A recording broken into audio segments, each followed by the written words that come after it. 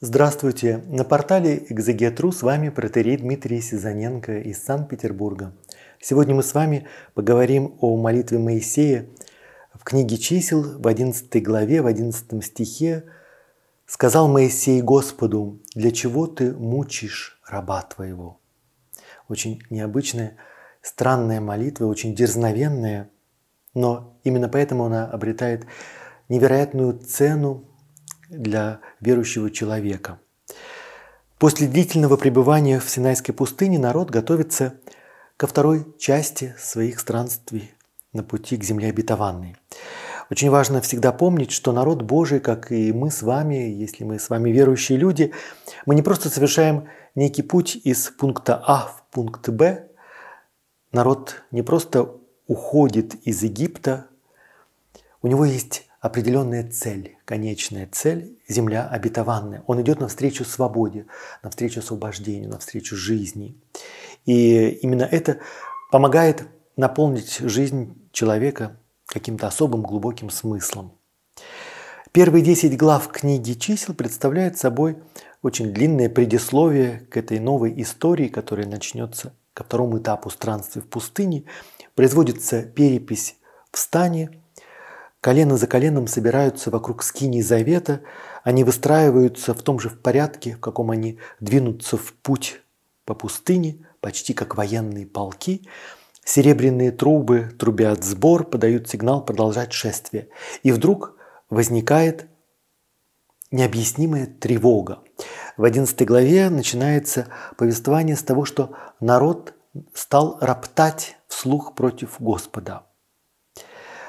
Э, они ропщут, как вообще люди, которые по любому поводу, лишь только случается какое-то затруднение, они выражают свое недовольство Богу. И этот ропот э, набирает силу настолько, что Бог это слышит, и возникает гнев, возгорается огонь, неспосланный Богом, и этот огонь бушует на краю стана – Люди возопили, бросились к Моисею за помощью. Моисей возвал Господу, и огонь погас. Первое э, тревожное э, предписание, первый тревожный знак о том, что человеческий ропот, человеческий бунт может обернуться стихийным бедствием. И дальше говорится о том, что к народу примкнули люди внешние, чужие, пришлые. И они стали говорить о том, что им хотелось бы пищи получше. И по примеру этих людей э, это чувство охватывает и израильтян. Вслед за ними народ Израиля начинает вопить вновь. «О, если бы у нас было мясо, стенали они. Мы же помним, как ели рыбу в Египте. Она доставалась нам даром, и огурцы, и арбузы, и лук парей, и чеснок, и лук репчатый. А теперь в пустыне мы совсем иссохли ничего, кроме манны, не видим. И понятно, что этот ропот совершенно несправедливый и какой-то отвратительный и гнусный. И мы можем понять чувство Моисея, который в ответ испытывает очень сильную депрессию. Э, в книге чисел не сообщается никаких деталей. Э, но это самый мрачный момент в жизни Моисея. Народ начинает рассказывать сказки, как было прекрасно в прошлом, как было хорошо в Египте, что им бесплатно раздавали эту пищу. Ничего им бесплатно не раздавали. Во-первых, не было ни мяса, ни рыбы, а то, что они получали в пищу, они приобретали, расплачиваясь своей свободой. Человек, лишенный свободы, лишен собственного достоинства. И поэтому в поведении этих людей было нечто абсолютно чудовищное – и Моисей испытывает сильные потрясения. Мы бы сказали, сегодня он испытывает шоковое состояние. И э, мы можем догадаться лишь по тому ответу, который дает Господь на молитву Моисея. Он повелевает Моисею собрать 70 старейшин, которые вместе с ним должны разделить бремя власти. То есть Моисей взвалил на свои плечи все бремя ответственности, и он оказался в абсолютном одиночестве. И это, конечно, неизбежно чревато депрессией. И мы видим, что в Ветхом Завете ни один Моисей чувствует себя настолько одиноким, что в своих молитвах просит у Бога смерти. Нечто подобное произошло с пророком Ильей, когда Изавель повелела его арестовать и предать смерти после победы над пророками Ваала. Нечто подобное происходит с Иеремией, когда народ отказывается слушать его грозное пророчество. Нечто подобное происходит с пророком Ионы. Он тоже впадает в депрессию, когда увидел, что Бог простил народ Ниневии и не исполнил своего обещания уничтожить этот народ через 40 дней. Итак, пророки и великие мужи чувствовали себя нередко одинокими и отверженными, потому что они на своих плечах несли невыносимое бремя одиночества и ответственности. И у них в какой-то момент возникало чувство, что так больше продолжаться не может. И э, в Библии псалмы, наверное, говорят об этом с наибольшей откровенностью. В них образ царя Давида, который э, не только имел какие-то тяжелые проблемы в личной семейной жизни, но тоже и военные, политические, духовные проблемы – он в какие-то моменты изливает свою печаль, свое отчаяние в трагическом одиночестве. Он оплакивает свою судьбу, и поэтому молитва царя Давида в псалмах – это молитва любого верующего человека, который изнурен от воздыханий, каждую ночь омывает ложе слезами. Э, в 12 псалме царь Давид кричит к Богу, «Доколе, Господи, Ты будешь забывать меня в конец, доколе будешь скрывать лицо Твое от меня». И, наконец, 21-й псалом, который произносит умирающий Христос «Боже мой, Боже мой, почему ты оставил меня?» Или знаменитый «De profundis» из глубины, из бездны, отчаяния. «Взываю к Тебе, Господи, услышь меня». Все эти псалмы говорят о похожих моментах, которые прожил Моисей вот в этот момент исхода из Египта. И нечто подобное испытывают верующие люди во все времена и в наши дни. Даже живя в большом городе, э, любой из нас понимает, что иногда очень трудно найти друзей, близких людей, с которыми можно поделиться своими сокровенными мыслями, своими чаяниями, кто мог бы понять твои чувства. А без такого общения верующему человеку бывает очень трудно. Поэтому в дневниках и в житиях великих святых очень часто встречаются упоминания об их одиночестве. И слова псалмопевца – конечно, здесь звучат как такое жалобное воркование горлицы, которая страдает от этого одиночества, и псалмопевец прибегает к этому удивительному поэтическому языку. Многие верующие люди находят утешение в чтении этих псалмов именно по этой причине. Псалмы учат нас, что мы не одни. Кроме нас есть и другие люди, кто испытали то же самое чувство. Мы проходим тот же путь, по которому уже до нас прошли Моисей, Илья, Иеремия, Иона, царь Давид.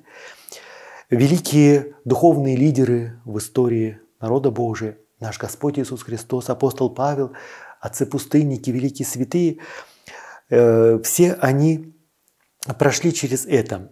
И Библия э, отличается удивительным психологическим реализмом, потому что она ничто не ретуширует, она все описывает как есть. И многие праведники были святыми людьми, но они не были суперменами. В отличие от языческих религий, иудаизм и христианство ничего не приукрашает. Даже самые великие святые знали моменты отчаяния, горя. Они оставались людьми, которые знали, что такое боль и страх. И никто э, не нуждается в искусственной героизации праведников, искусственной идеализации. Пусть цари, пророки, апостолы останутся настоящими людьми, живыми людьми. Именно поэтому они будут победителями и праведниками. Если из них делать каких-то полубогов или идеализированных сусальных персонажей, то тем самым обесценивается их жизнь, обесценивается их подвиг.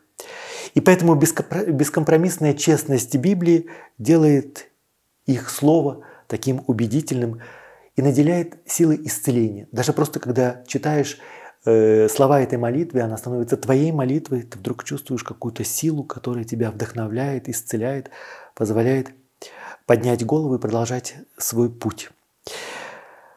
Психологические кризисы, которые переживает народ Израиля, можно вполне понять. Но особенно можно понять Моисея.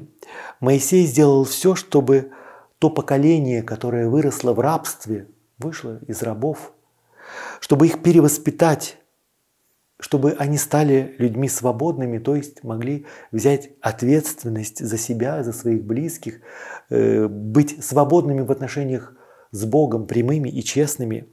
Все это не увенчается успехом. Рабы остаются рабами. Поэтому можно себе представить глубину одиночества и отчаяния Моисея, который все положил для того, чтобы их перевоспитать, и у него ничего не получается. Илья был одним из немногих пророков, которые восстают против нечестия сильных мира сего, и все равно это противостояние оказывается настолько непосильным, что он впадает вот в это состояние депрессии, одиночества. Пророк Иеремия и Иона проходят через тот же путь. И э, если мы заглянем в следующую главу, то мы увидим, что Господь сам защищает Моисея в тот момент, когда Мириам и Аарон нападают на него. Точно так же, когда пророк Илья просит Бога о смерти на горе Харив, он удостоился э, удивительного откровения. Бог говорит с ним и является ему в шепоте тихого ветра. Иеремия тоже получает новые силы, продолжает свое служение. Иона получает какой-то сокрушительный урок сострадания и милосердия от самого Бога. Все это говорит о том, что э, Господь никогда не оставляет молитвы праведников неуслышанными. И те, кто познали потрясающую глубину духовного одиночества, как никогда близко соединяются с Богом. В наше время, конечно, одиночество становится своего рода пандемией. Дело не только в том, что мы вынуждены э, сохранять какую-то изоляцию по эпидемиологическим причинам, но в целом те связи, которые на протяжении тысячелетий связывали людей в единую общность, в род или народ, сегодня ослабевают. И по разным причинам многие из нас сегодня чувствуют себя одинокими, отвергнутыми, ненужными, обделенными радостью общения. И мы можем понять, э, почему Бог говорит книге «Бытия» «Нехорошо человеку быть одному, нет ничего хуже, нет ничего ужаснее и бесчеловечнее, чем одиночество, когда человек остается один». Но именно в преодолении этих невзгод есть уникальная польза, потому что в одиночестве человек может обрести и высшее утешение. Страдая от одиночества, во-первых, мы способны понимать страдания других людей, мы понимаем, что мы не одиноки, потому что другие прошли по этому пути. И самое главное, что в тот момент, когда из глубины, де профундис, из бездны одиночества мы призываем Бога, то мы его обретаем в тишине души, мы можем почувствовать его прикосновение. Разумеется, это не смягчает удар от потрясения, но в Библии мы находим этот источник вдохновения, силы и мужества. Бог не оставляет без ответа крик о помощи. Мы можем использовать это, э, эти молитвы э, псалмов, пророка Моисея и других великих персонажей Библии для того, чтобы укреплять наш духовный опыт, для того, чтобы становиться в большей степени людьми, развивая свое религиозное чувство. Но самое главное, конечно, обретая утешение в этих рассказах и в этих молитвах. Когда мы чувствуем себя наиболее одинокими, мы действительно обнаруживаем, что мы далеки от одиночества, потому что Господь всегда с нами. На портале Exeget.ru с вами был протерей Дмитрий Сизаненко из Санкт-Петербурга. Внеси свой вклад, оцени, подпишись и поделись этим видео.